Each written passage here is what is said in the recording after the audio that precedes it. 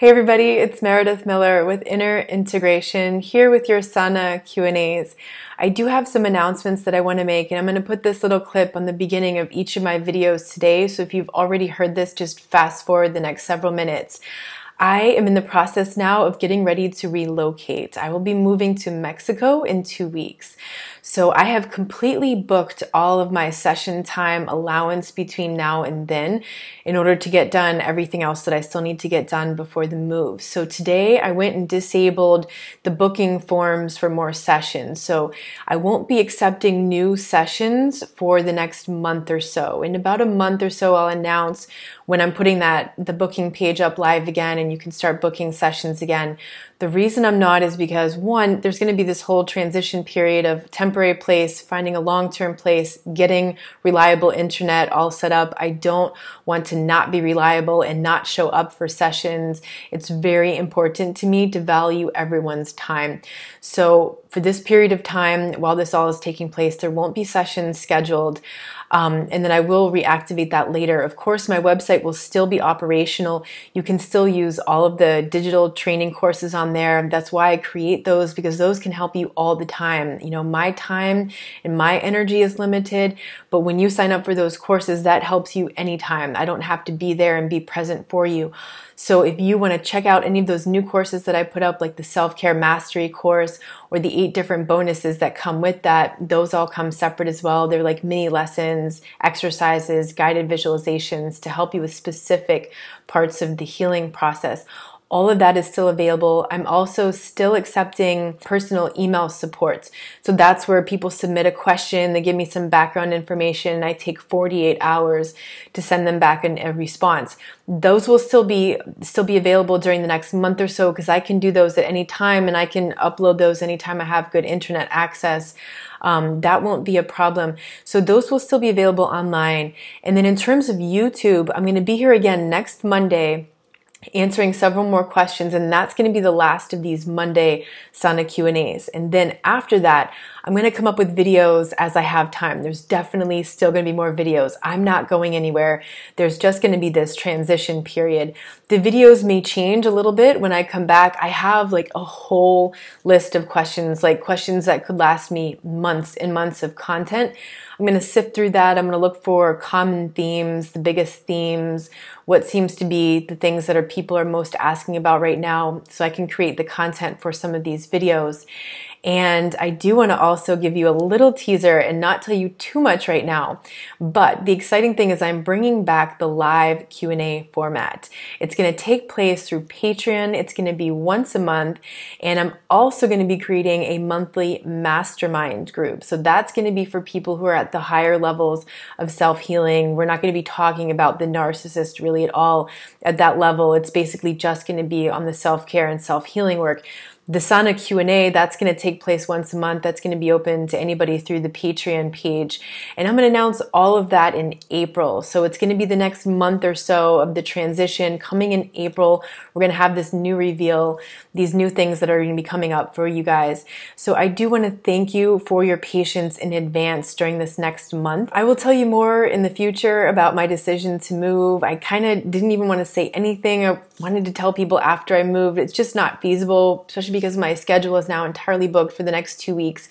I will tell you more about it in the future, but I do want to tell you that Mexico for me is about reaching the thriving stage, like the next level for me. I feel like I'm surviving and I'm surviving really well now.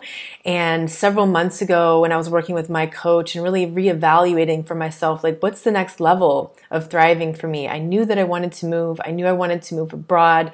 I just didn't know where, and I was starting to research places, but this is all part of the next stage of thriving because as I am living and thriving, I'm able to bring that much more to you through my energy, through my awareness, and through the content that I deliver to you. So thank you for your patience. And I am really excited to share with you the new backgrounds and the new exciting stages that we'll be moving through together.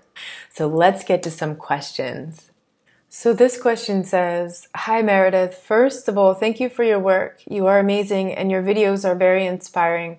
Here's my question. I often hear survivors have issues staying by themselves after the abuse and avoid jumping right into another abusive relationship. I have the opposite problem, especially since I've been educating myself about what I've been through.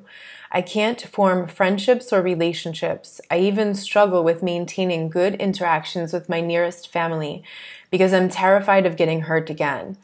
It has been like this for a while now, and it's starting to get heavy on me. How can I connect with people and allow myself to love someone else? Kisses from Italy. This is a great question. I think it's a question a lot of people start asking after a period of time, you know, after a period of time of being apart from these relationships. So, yes, a lot of people try to fill the loneliness with serial relationships or dating. You know, just just there's like this gnawing sense of restlessness, so they just they just get out there just to meet people and then what happens is that gnawing anxiety and restlessness convinces them that it's okay, that you know, whatever shows up, shows up, and they're going to settle for that, and they're just going to keep seeing these people or hanging out with these people, whether they're friends or dates or whatever. But if it doesn't feel entirely good, sometimes in the early stages, people can just get into this rut of just going out to hang out with people to mask that sense of loneliness of course, there's no loneliness in the world more devastating than being surrounded by people or being in a friendship or in a relationship and feeling so alone. That's the worst kind, you know. Um, so it's important to allow for that space for healing for a while embracing the solitude, getting to know yourself, revealing more of your authenticity, revealing more of your own purpose, figuring out what you really want in life, what your dreams are, not someone else's dreams, but your dreams. Maybe you've always been living someone else's dreams, like your mom's dream or your dad's dream or society's dream or your ex's dream for you, but what's your dream? And until you're really clear about that, yeah, it could be dangerous to get out there. It could be really complicated. But then it's like at some point along the lines, at some point of figuring these things out and working on yourself and working on the self care, really coming to know who you are, really feeling comfortable expressing that, knowing what you want, knowing and feeling and living that sense of purpose in every moment. When you're at that place, you know, being very clear about what your dreams are and being very clear about not settling for anything else and not compromising your values and dreams then at some point there needs to kind of come this balance where you start socially reintegrating again and that's that's scary.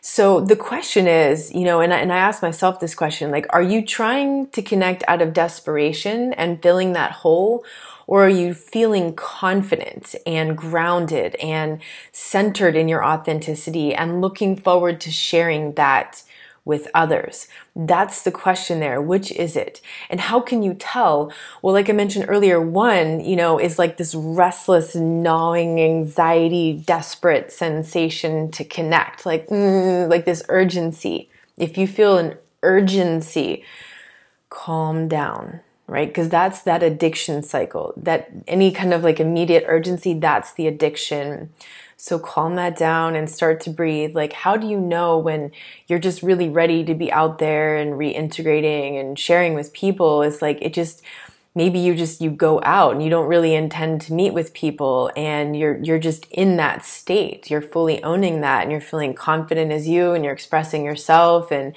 you're just exuding that vibe. And it's like this pleasant surprise when some new person comes across you know, your radar. Maybe you meet them out and about, or maybe someone reconnects with you from before, or somehow you just get in these right situations at the right time to meet new friends or new groups or new potential lovers. And how do you tell is like it feels calm.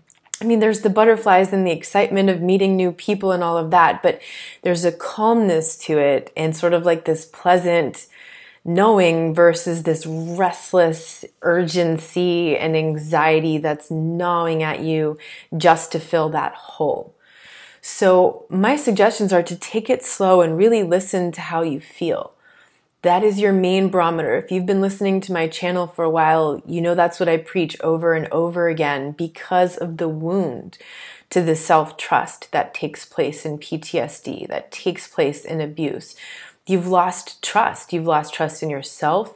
You've lost trust in other people. You've lost trust in the universe and God because how can such a thing happen in this world if God really loved you? You know, if this universe really wanted the good for you. Like we all go through these sorts of moments after the abuse and after the PTSD. So it's important to take things slow and redevelop that and really feel. How do you feel? Tune into that. That's your barometer. If something doesn't feel right, it's probably not right. You know, if you're out there too early, out and about and trying to meet people, you're probably still meeting jerks. Like if, if, if all you're meeting are all these narcissistic people, you still have a lot of work to do. Not that I'm saying you're never going to meet one again you'll definitely meet them. But if you just feel like all you meet and all you connect with are narcissistic, something on that cluster B spectrum individuals, then you still have a lot of healing to do. So if it doesn't feel right, it probably isn't. Don't jump into something. Don't accept something. Don't settle for something that doesn't feel right just because you're lonely. The right people will show up when it's the right timing. Uh, one of my clients asked me a couple weeks ago, you know, she was trying to get back out and dating after taking some time off after an abusive relationship. And she was still disappointed in the people that she was meeting. She was still seeing the same patterns, you know, different people, slightly different, but the same basic textbook patterns. And she asked me, like, you know, so how's that working out for you?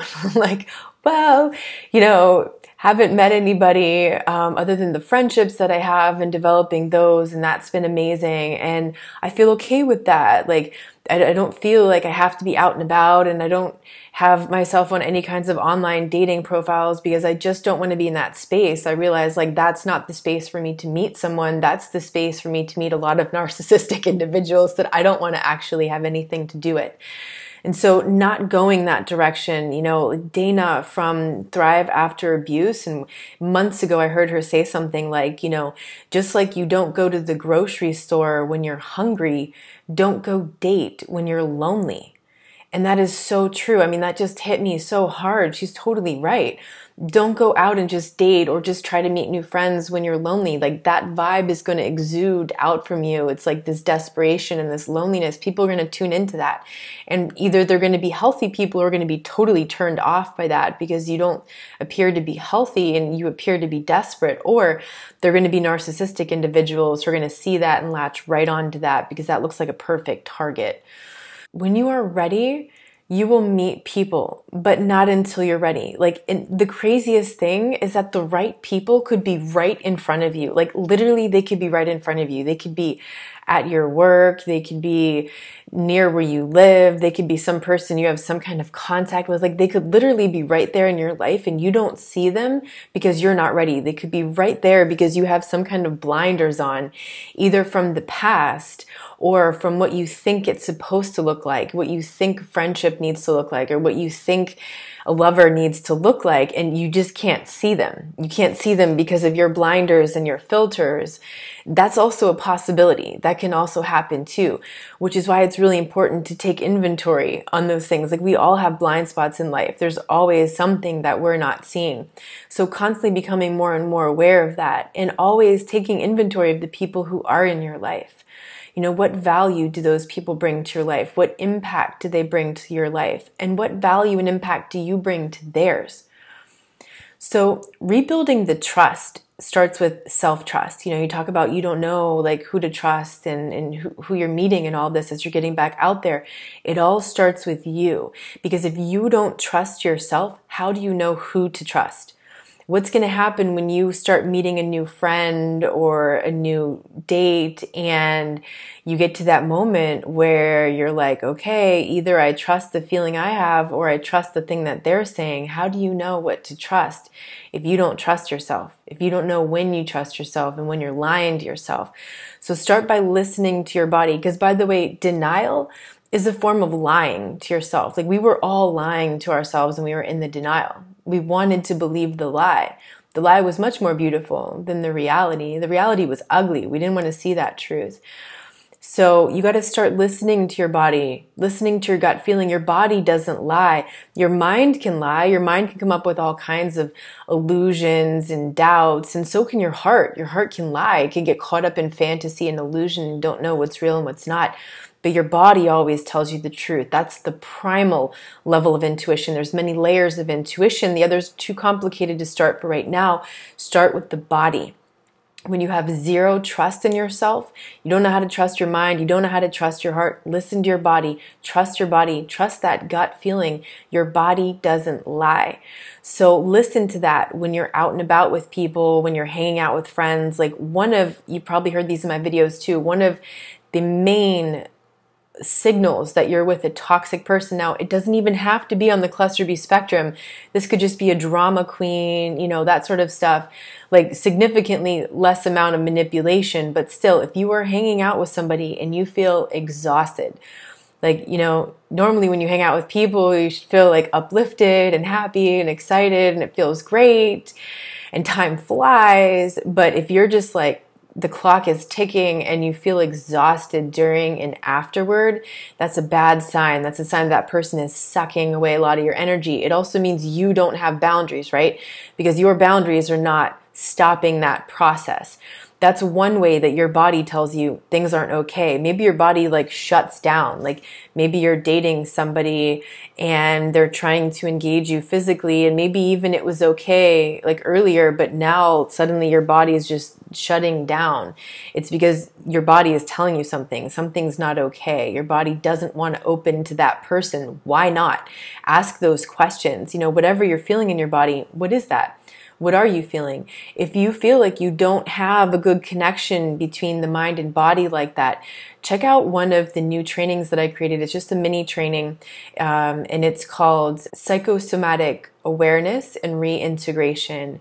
And there's a mini lesson and then a guided visualization, and it's going to guide you into this way of reconnecting with your body and paying attention to the messages that your body is sending you reconnecting that whole continuum of body, mind, spirit, really becoming aware of that. And that's like the primal way of getting in touch with your intuition and rebuilding that sense of self trust. Like when you're starting from zero and you just don't know what to trust anymore, it's almost like you have to rely on something tangible. That's why the body is amazing. Your body is tangible. It's not some ethereal idea or energy. Like your body is real and it's going to send you a message. And the more in tune you are with that, the more connected you're going to be with your intuition, with your sense of self trust. You know, if you're out and about and meeting people and you just feel like in social situations or out in public, you always feel like you're in danger. Like maybe your hypervigilance is 10x you know, when you're at a party or a gathering or at the grocery store, just out and about, and you just always feel like you're in danger, that's a sign that you're still locked in the past. That that's still some heavy PTSD. PTSD just means you're locked in the past. Your subconscious is locked in the past. It's still reliving the past because you haven't processed it in order to move through it. You haven't felt it in order to heal it.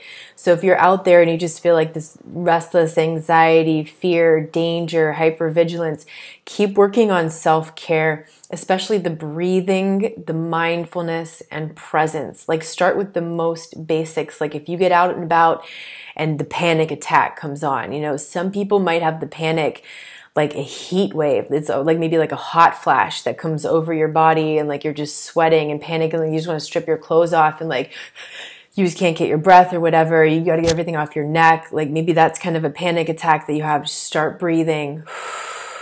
Take a big exhale, start breathing. Maybe for you, the panic is more like cold. I've had these before too, usually when it's colder outside, but it'll feel like from one moment to the next, all the heat was just sucked out of my body. And like the pain of the coldness going into the bones and just like this like shivering paralysis of cold and just can't stop shivering and like your body contracts maybe even into like a fetal position, just desperately trying to get warm. That's another form of panic attack. These sorts of things can happen if you're out and about and you're not feeling comfortable, you're feeling unsafe. Go to the breathing, start breathing. If you're feeling cold, you want to take quick breaths, like the breath of fire in yoga, like shh. That kind of breath because that's invigorating. It's going to get a lot of heat going in your body. If you're feeling too hot, you need to take slow, long breaths because that's going to calm everything down. It's going to cool things down. It's going to bring you back to the present moment in mindfulness.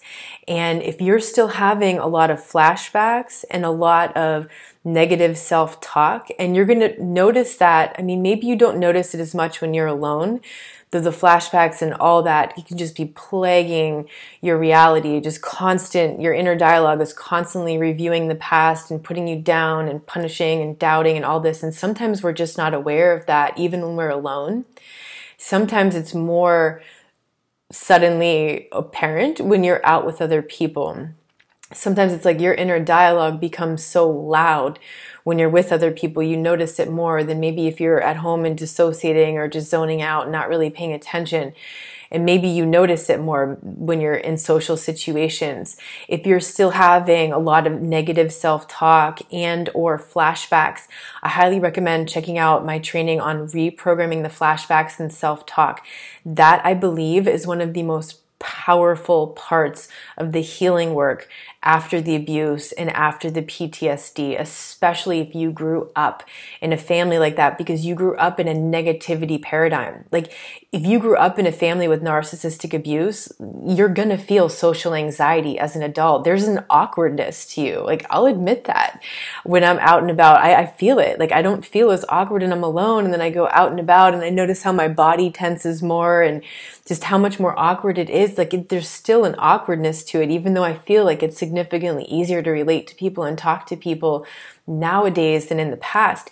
But there's an enormous amount of that social anxiety and awkwardness to overcome because things were fucking awkward when you were growing up. Everything was weird and awkward. Either there was way too much attention focused on you, you know, from like, say, the whole family gathering, or there wasn't any at all, or it was back and forth, you know, and up and down, and you didn't know if the attention you were going to get was going to be an idealization. Oh, so and so, so amazing and so proud, or some kind of, you know, cruelty, abuse, put down, you know, that sort of thing. So naturally, when you go out and about to meet people, you're afraid that the same thing will happen. You don't know are you going to receive kindness or are you going to receive cruelty? What is it going to be? You're not really sure what to expect. So that could be really unnerving. And it's really important to upgrade that self talk, to upgrade your reality paradigm from that negativity paradigm, from the self doubt, from the awkwardness and all of that from childhood into a new paradigm of possibility and more positive ways of looking at the world and interacting with the world. And this piece will help you so much to rebuild your self esteem because your self esteem comes by your interactions with the universe and people around you, with the world around you. Like as you take action, what is the response from people in the world around you? When that response is, is good, your self-esteem is high. When that response is low, your self-esteem is low. But it, it's not dependent on the outside world. The outside world is just responding to your inside world. So when your inner world, your inner paradigm is more positive, it's more based on possibility and openness and what's going to happen versus it's all negative and it's all this and it's all that. It's a very different way that you interact with the world around you. Very, very different way that the world responds to you because you are creating reality and reality is creating you. So one of the main questions, one of the main challenges here for social social life after abuse, after a period of time of healing, ask yourself the question, can you trust yourself to remain in authenticity with yourself, with your self-expression and in alignment and integrity with your values? Can you trust yourself to maintain in that authenticity and alignment when you're with other people? Because if not, maybe you can't feel at ease around them. Maybe you find yourself getting into situations with people where you're trading in your authenticity for acceptance. Don't ever trade in your authenticity for acceptance. As recovering codependents, we are too willing to do this because of the past. We've been told you had to give up who you are, your sense of authenticity, you know, your thoughts, your feelings, your needs, your perceptions of reality, your desires and hopes for the future. All of that wasn't allowed in order for you to fit in, in order for you to get any sense of conditional love. You had to compromise all of that authenticity in order to get that acceptance. But now as adults, we can make a diff- we can make different decisions. We don't have to do that. We don't have to sacrifice our authenticity. We can stay in that authenticity and wait for the right groups, wait for the right communities and tribes. You will find your community and tribes of people who share common values with you. And that's another question. Like, do you know what your values are? Do you really know what your core values are? Because if you don't know what those are and you can't really define those, like really articulate them to yourself, then how do you know what you're looking for in community and tribe, in a mate, in a friend? Like, how do you know what to find? Make sure that they have similar core values. And maybe those core values are very, very different than your family of origin. Very different. And probably are. Like what you're actually looking for in life versus where you've come from. So, you know, this person says they're from Italy. So I'm going to put a link here also to an Italian resource for you. Um, it's this great woman. Her channel is called Vappole. I'm going to put the link here so you can find her. Also, I'm going to do a little video at some point soon with a bunch of international resources. I have someone in Germany. I'm going to put his link at the bottom below here too, just in case anyone from Germany is listening to this. I want to keep putting in more resources like this because I know there's people all around the world who are listening. And also, if you would like to submit um, subtitles for any of my videos in your native language. If you understand English really well and you would like to translate any of my videos into your language, there's now a possibility to do this. People are allowed to submit subtitles. I've had two different people submit subtitles for two of my videos now in Spanish. And then I was able to read those and then approve them. And now people can watch those videos with subtitles in Spanish too. So if you would like to add subtitles in German or any other language, that's great too. And I also want to be able to link you guys up to other resources in other languages to help you out. So I am sending you a big hug.